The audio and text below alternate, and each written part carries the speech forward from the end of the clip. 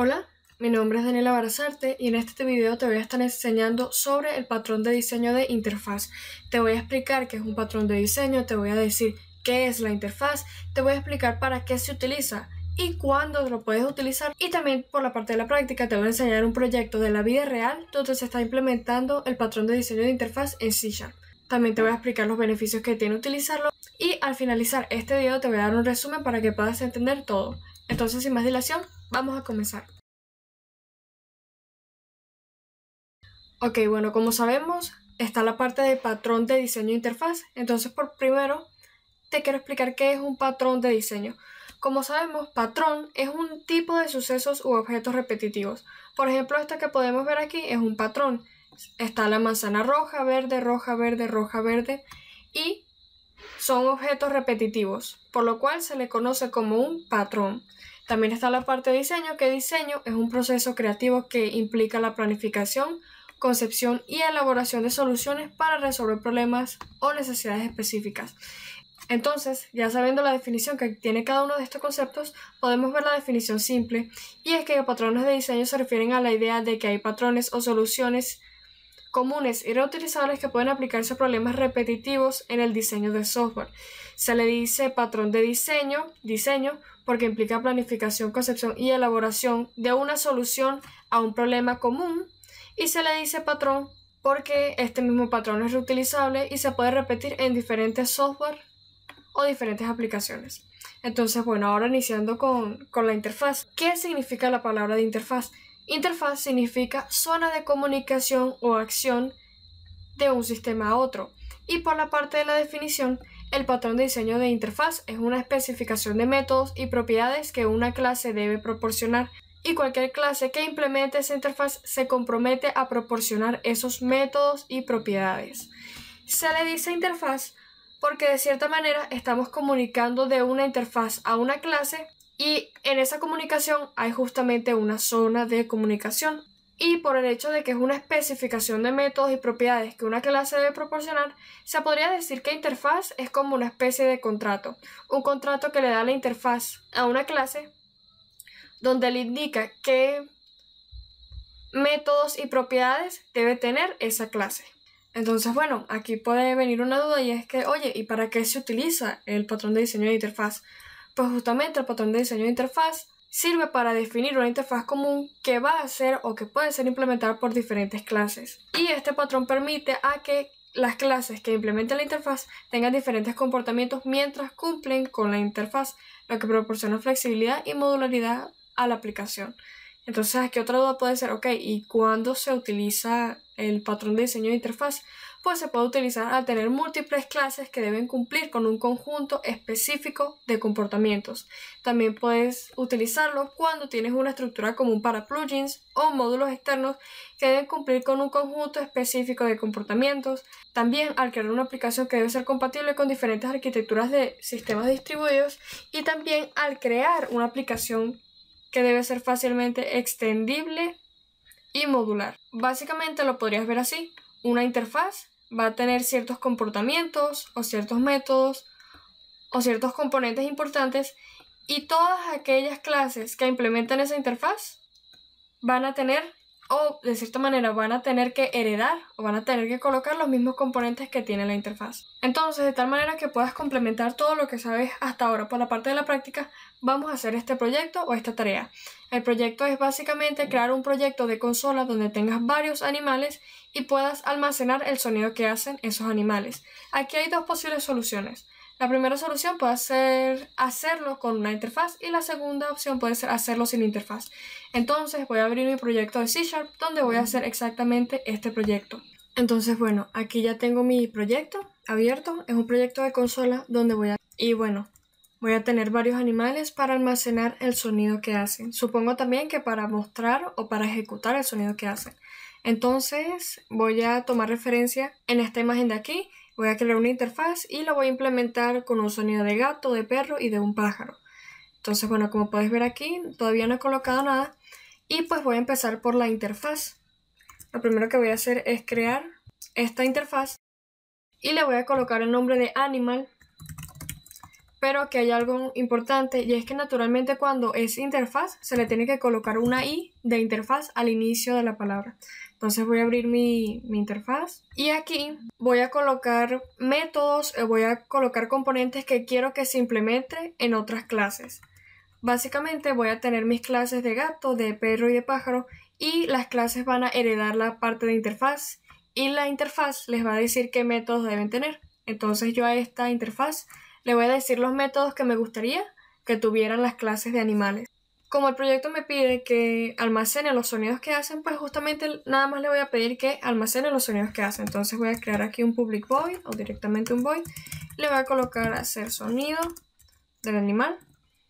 Entonces bueno, aquí ya tengo mi interfaz y ahora voy a colocar clases para que pueda implementar esta interfaz. Primero que nada voy a colocar la clase de perro. Y aquí esto va a ser bastante importante y bastante interesante porque como estoy heredando la interfaz, aquí el IntelliSense me va a marcar un problema y me va a decir de que no estoy implementando la interfaz, es decir, de que me está faltando este método de la interfaz. Entonces es bastante bueno y bastante positivo porque si yo tuviera muchísimos métodos aquí, no quisiera que me faltara alguno, la interfaz de cierta manera me avisaría de que me faltaría un método en ese caso. Entonces voy a agregar el método aquí voy a implementar la interfaz de hacer sonido y aquí le voy a colocar algo para que lo escriba en la consola. Y bueno, ¿cómo hace el perro? El perro hace wow. Entonces voy a poner wow. O en inglés, uff. Entonces, bueno, de cierta manera ya estoy comenzando a implementar la interfaz. Ya tengo una interfaz de animal y también tengo la clase de perro pero como puedo ver, me faltarían otros dos animales, sería el de gato y el pájaro. Entonces voy a hacer exactamente lo mismo. Entonces, bueno, aquí ya tengo mi interfaz de animal, tengo mis tres implementaciones de clase, tengo la de perro, tengo la de gato y tengo la de pájaro. Y si yo, por ejemplo, quisiera agregar otra cosa aquí, si por ejemplo quisiera agregar la opción de llamar amigo, me va a salir un error y justamente me está saliendo este error porque en la clase de interfaz no está este método, entonces lo voy a agregar también. Y lo voy a terminar de agregar en el resto de las clases.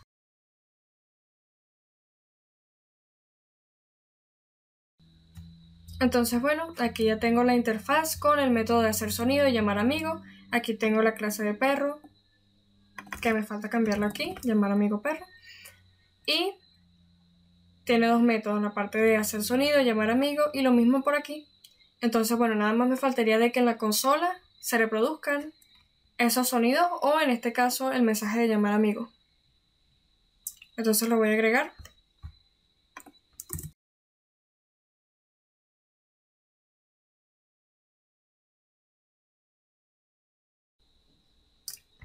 Entonces, bueno, aquí ya he completado toda la parte del main. Básicamente estoy colocando la interfaz de animal y aquí estoy colocando el método o la clase que va a utilizar.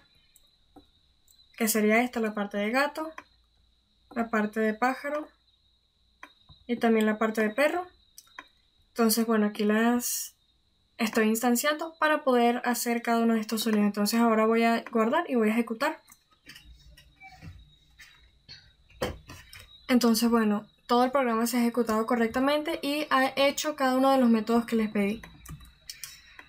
Aquí podría hacer muchas cosas más, por ejemplo el animal le podría poner acciones que puede hacer, como por ejemplo, si yo quisiera hacer algo muchísimo más específico, pudiera poner por ejemplo y volador y colocarle esta interfaz a animales que vuelen.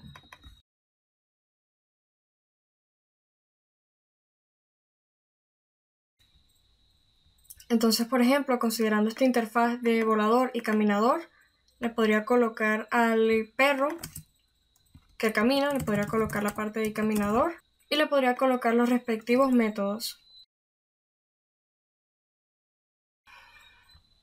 Pero bueno, como te digo, esto ya sería un ejemplo aparte. De igual manera te voy a dejar este proyecto de interfaz, te lo voy a dejar abajo en la descripción para que vayas a mi repositorio de GitHub y lo puedas descargar y lo puedas utilizar y también puedas practicar este concepto de interfaz. Entonces, bueno, ya habiendo completado todo ese proyecto, ya habiéndote enseñado la interfaz, vamos a ver ciertos beneficios que tiene implementar interfaz. Porque quizás tú te puedas preguntar, ok, bueno, el proyecto se podría hacer sin necesidad de implementar interfaz. Y también es cierto, pero implementar la interfaz te proporciona ciertos beneficios que aquí mismo vamos a ver. El primer beneficio puede ser justamente la abstracción. Las interfaces te permiten un conjunto de métodos y propiedades que deben ser implementados por las clases que los hereda que los implemente. Esto te va a facilitar la compresión y mantenimiento del código y de cierta manera va a abstraer esos métodos importantes y los va a colocar por fuera del resto del programa. También te proporciona la parte de separación de preocupaciones, ya que definiendo interfaces puedes separar claramente la interfaz de usuario de la lógica de negocio, así como la parte de abstracción, de cierta manera vas a poder separar el contrato de métodos o componentes que debe tener la clase y pues lo puedes separar de esta manera. Todo va a estar mejor definido y también va a estar mejor ordenado. También está la parte de flexibilidad.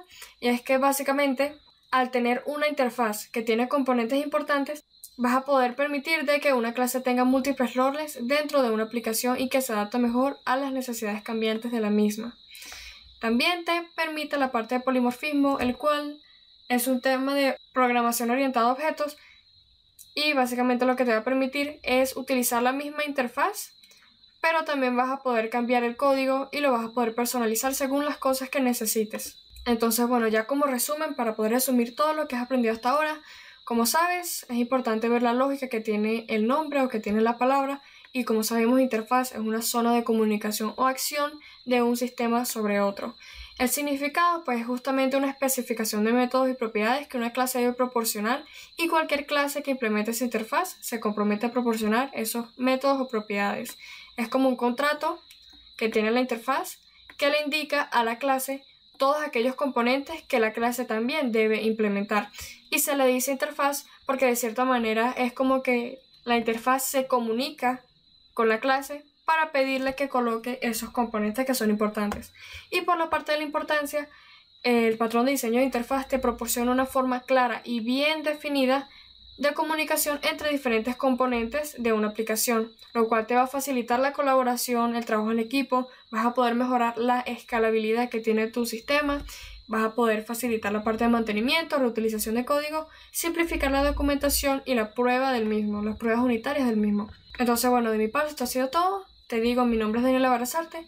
Me puedes encontrar en GitHub como Daniela Barazarte y también en GitHub vas a poder encontrar el repositorio utilizado para el proyecto de animales, de interfaces y de implementación de clases. Lo puedes encontrar en el GitHub de Detecta la Lógica. Entonces, bueno, muchísimas gracias por ver este tutorial.